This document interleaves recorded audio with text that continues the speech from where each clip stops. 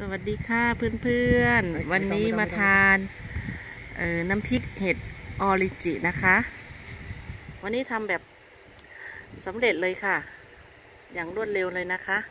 ไม่มีไม่ได้ทำเตรียมพิธีให้เห็นการทำน้ำพริกนะคะ